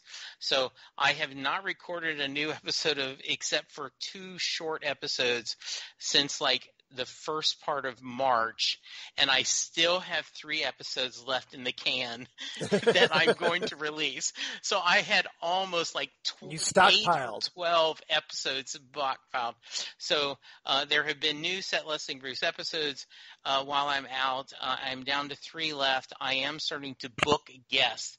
So if you want to talk music, if you want to talk Bruce Springsteen, if you want to talk, you know, the power of rock and roll, um, please reach out to me. I will be needing guests because I have wiped out my bank shows. Uh, but yes, and so there have been some really fun episodes. I know and Zan still wants to talk with you. Yes, I, I, in fact, I saw that. I was like, I should. Zan would be one. She'd be Um, fabulous on that show. Yeah, she would be amazing. And there's a couple other uh, people have reached out to me that I'm hoping that I'll, be able to book in the next couple of weeks. That that'll be pretty special. But Well, if you ever Um, get desperate, you know, you can grab me and I can, I'll do you know another what? We, episode with you. yeah, that would be great. Yeah, that would be a lot of fun. Just let me know if So- you need somebody. So, Charles, I do not know if there is a Southgate Media podcast that doesn't have you involved somehow. Well, But- fir- well, first, well, first, I want to ask everybody if they want to. Lori, I know um, if anybody wants to get a hold of you on social media, do you want to share that? How they can find you? They can find me on Facebook at Lori Skaggs. They can find me through you. It's Okay. probably the easiest way. Um, I mean, and I know I can find you in my house, but you know, and that's about all that I have from a face or from a social media standpoint. Uh, it's um, is my Facebook page, but um, it, yeah, they're Okay. they're welcome to reach out to me. Just let me know that it's because of this. Um, but can I? I've got one other little thing. If Okay. anybody ever wants to learn a little bit more about Madame de Pompadour Right. and likes to read books but and likes to read biographies but not the 5000 page um, play-by-plays there's a wonderful book called Madame de Pompadour Mistress of France Ooh, it's by Christine Pevitt P E V I T T Algrant, A L G R A N T, and it's under 300 pages, and it's Okay. pretty good sized print, and it's it's got it's a really good overview of her life, and it's an easy read. cool. oh, that sounds interesting. excellent, excellent. Do you want to promote Colony Cats? Oh, my other obsession You're in welcome. life. You're welcome. Yes. I when I'm not around my husband, I am helping with rescuing the cats and dogs of the Columbus and surrounding areas uh, with Colony Cats. Uh, the website's colonycats.org. You can also find us on Facebook and Instagram at Colony Cats and Dogs. Excellent. All right, everybody, have- everybody, please go there and They support do Lori. really great work. they They, do. Yes. Sup- support them, everybody. We have actually placed around 15,000 dogs and cats into homes since 2009. That's That's, amazing. that's that's great work. That's That is amazing. Yes. All right. So, Jesse, before I interrupted you, I'm sorry. I just wanted to uh, let Lori No, have no, her no. shot. I'm really glad. No, I was just uh, I was going to let you share. Um, uh, I, I, I, I, I, I'm going to take the moment. Excuse me, Charles. I'm going to take control Sure. for a moment. Go ahead. Lori, I am sorry I made you a podcast widow. I, you know, It's all your seven fault, years Jackson. ago, I reached out to Charles. I said, "Hey, Rob Southgate wants to do a Doctor Who podcast. Do you want to do it?" I've never done a podcast. Well, it's easy, Charles. You just get a mic and we talk. Sure. Seven years later, Mhm. um, he is in so many. So um, that I know it brings him great happiness, and he is amazing at it. But I just, as as your father and your long-term friend, yeah. I apologize for making you a podcast widow. No apologies necessary. It just makes me not have to feel guilty about my volunteer activities with Colony Cats. Yep. That you know, I, and she I- doesn't have I- to deal with me for like two hours at a time, right? Oh, is. I, I will tell you um, that is one of the things that has made Linda and I a really strong marriage. Is um, you know her exercise and her work and the things she does. I am totally supportive of her, and then she's supportive of the podcast. So you can have a incredibly strong marriage and a close marriage with each of you having individual. I think it actually makes it a stronger marriage, a healthier by having your own interest and, and being I able agree. to share that. I One agree. hundred percent agree. The Yeah. people, the marriages I see where the only things that they do are things with each other. A lot of most of those do not survive. There I- has to be an external thing because you don't talk about everything with the person who is closest to you, and you and you don't all you're not the same person, so you can't have the same interest in absolutely everything all the time. No, and it, and it, but you know, by the same token, it's also good to have common interests, Yes, Right. but absolutely. that doesn't need to be exclusive. You know, you can have common interests, and then you can also have outside interests, right? Absolutely, yes. Fun fact about Charles and me, we actually do much better together when we are in stressful situations than Yes. when it's just Yes, normal day.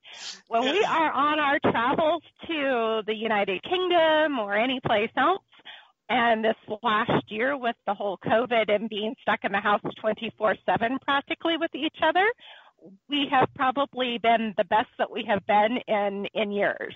Well, you know, she's upstairs in the living room taking that over for her work, and I'm I'm downstairs in the basement of solitude, you know, doing the podcast thing, so and working. So it worked out That's pretty well, right? You know, we Yes, like I agree, we do uh, we do fantastic in stressful Absolutely. and the situations. travels. I mean, we've even when we've been on our trips, um, and we we typically use a um, tour company when we're over in the UK because we don't want to have to drive and, and look at the scenery at the same time.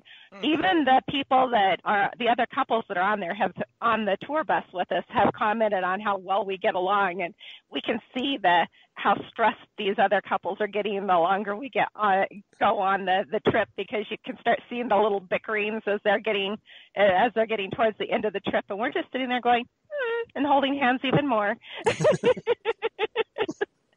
Uh, All right. So as for me, you can find me at Charles Skaggs on the Twitter machine or at Charles Skaggs on Instagram or Facebook, Charles Skaggs in Hilliard, Ohio, and my blog, Geeky Things. Wait for it. Damn good coffee. And hot. Damn good coffee and hot, where I talk about all the stuff we talk about here on Next Stop Everywhere. So Doctor Who, Torchwood, Sarah Jane Adventures, Big Finish, audios, and more.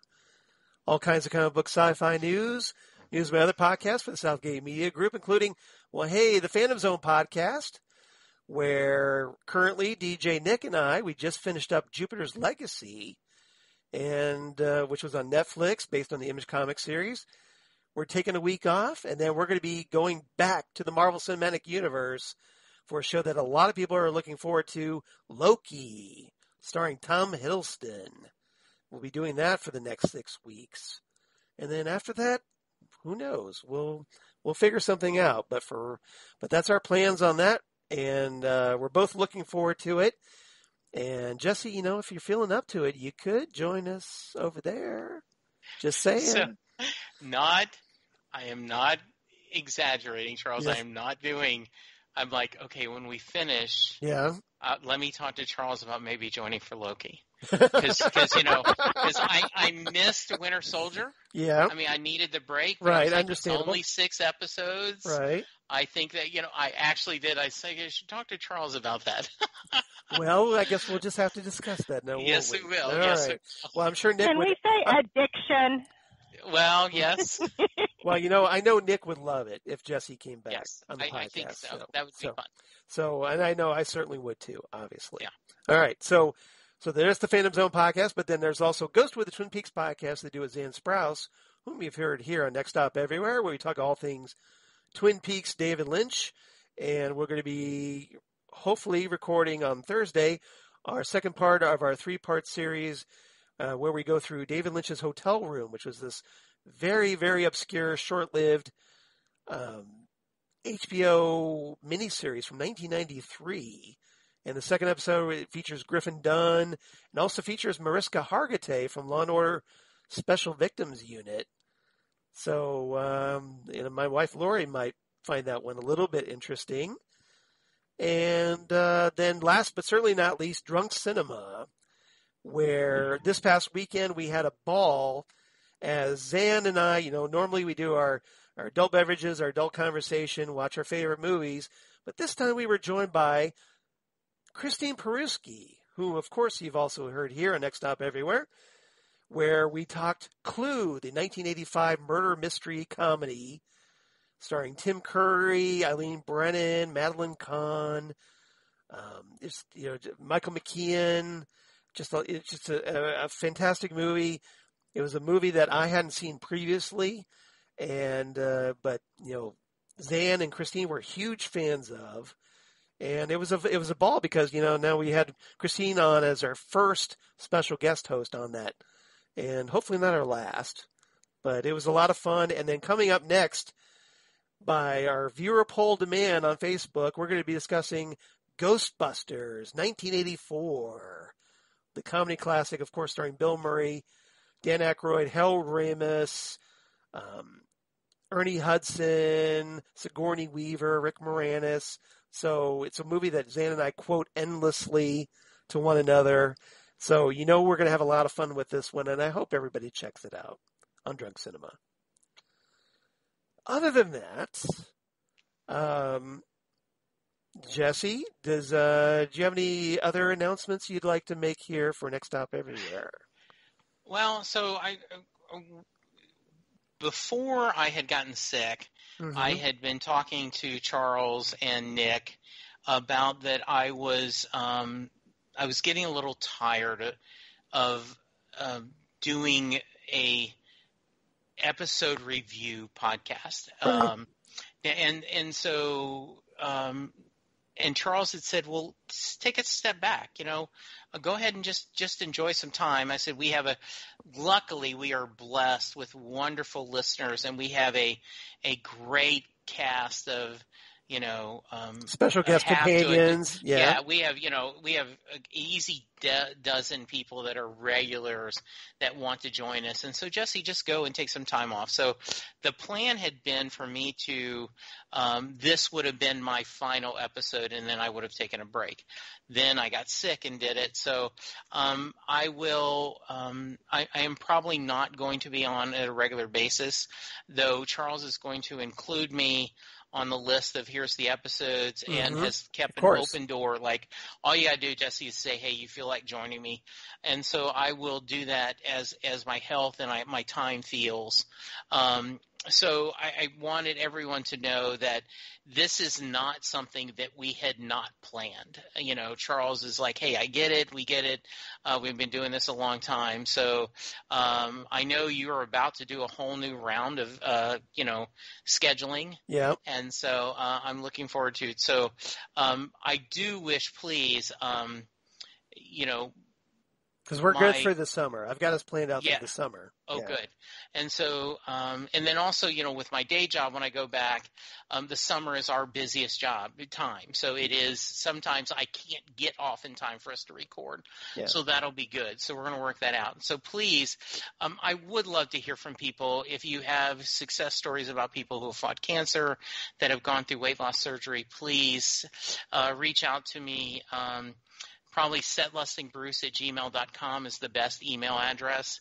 Uh, if you send it to Next Stop Everywhere, Charles will uh, forward it to me. Of course. Um, the, I cannot tell you the amount of joy and happiness and, and the sense of peace that I have received through all our listeners. I, I you know, I feel the positive vibes. I feel the the prayer and the support and and you know the good thoughts uh, that people have sent, and it means the world to me.